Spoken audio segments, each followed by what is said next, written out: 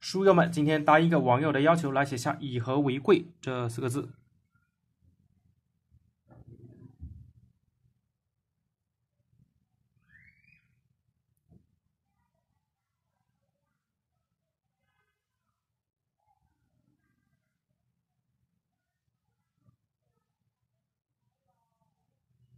写这个“以”字的时候，要记得不要贴得太紧了，不要贴得太紧了。那么这边的话稍减一点，简单一点。这边的话就要，这边的话也比较简单，但是要注意几点呢？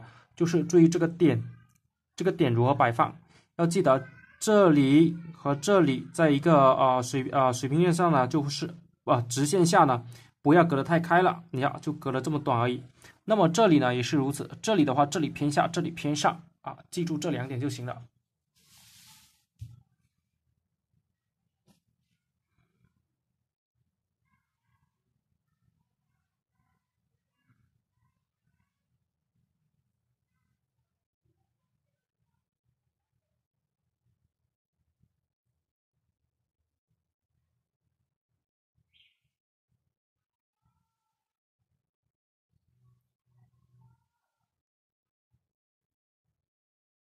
这里突出，那么这里突出这个口呢？啊，我之前也强调过啊，该细的地方就要细，像这个地方呢就要写细一点啊，这地方比较细，这里比较重。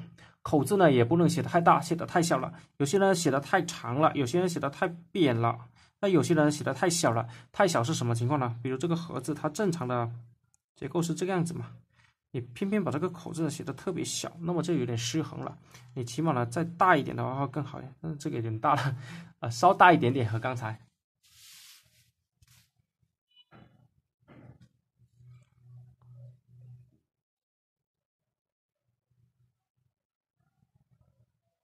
斜着，然后马上折下去，一穿过来就折下去，一穿过来就折下去。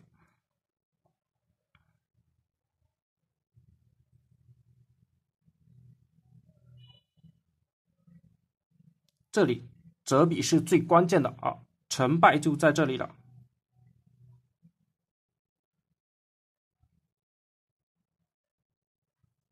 围，围不算太难。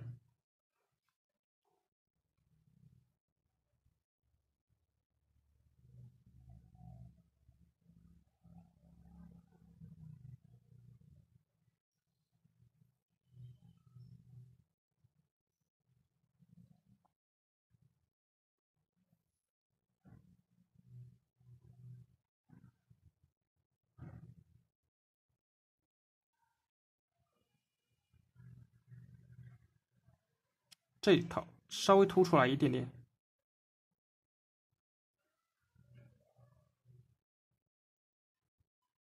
那么这点压的比较低一些。贵字的话，我感觉呃难在结构吧，因为稍微你这下面这个贝字啊写不好了，或者是写偏了一点点就不好看了。啊，对于这四个字呢，呃也没有什么特别难的。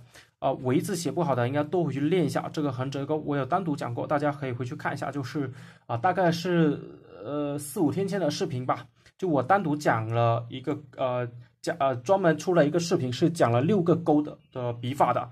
那么大家可以回去看一下，如果不懂的话。今天呢，我们就讲到这里，感谢大家的收看。